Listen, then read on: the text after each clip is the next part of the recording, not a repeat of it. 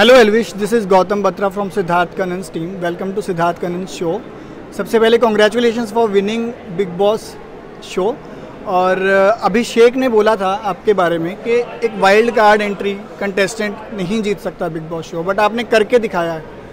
तो आप अभी इस मौके पे अभिषेक को क्या कहना चाहेंगे?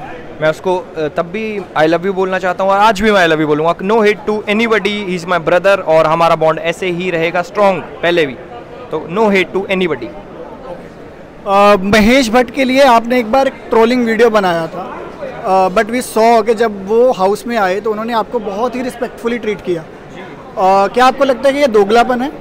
नहीं ये उनका बड़प्पन है कि उन्होंने काफ़ी अच्छे से ट्रीट करा मुझे क्योंकि उनको लाइफ का काफ़ी ज़्यादा एक्सपीरियंस है वो समझते हैं जैसे मैंने उनको देखा। तो मुझे भी काफ़ी अच्छा लगा उनकी वाइब काफ़ी अच्छी लगी मुझे। उन्होंने बहुत सारी चीज़ें समझाई कि ऐसे आप बहुत स्ट्रांग हो।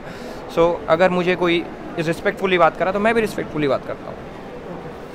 आपने पूजा भट्ट के बारे में बोला कि अगर आप उनकी एज के होते तो आप उनको डेट करते आप उनको अप्रोच करते। तो इसके बारे में नहीं मैंने ऐसा नहीं बोला। मैंने बोला कि वो मेरी एज की होती तो मैं ज़रूर करता। हाँ तो उसके बारे में आपको क्या लगता है अभी मतलब बाहर मिलके आप अपनी जो दोस्ती है वो किस तरह से कंटिन्यू करेंगे? नहीं मैं ऐसी टेक्निक का वेट कर रहा हूँ जो उनको छोटा कर दे। है ना? हम दोस्त है यार दोस्त रहेंगे।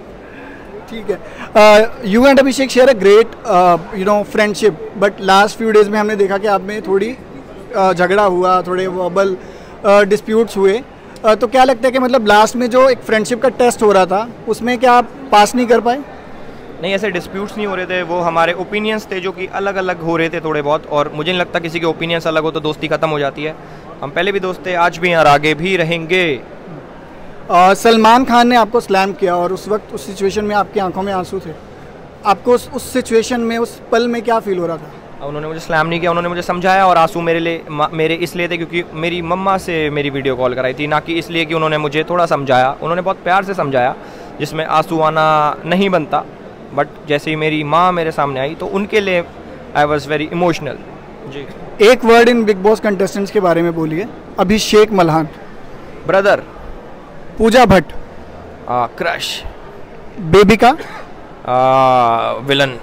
Manisha. Good friend please subscribe to Siddharth Kannan's YouTube channel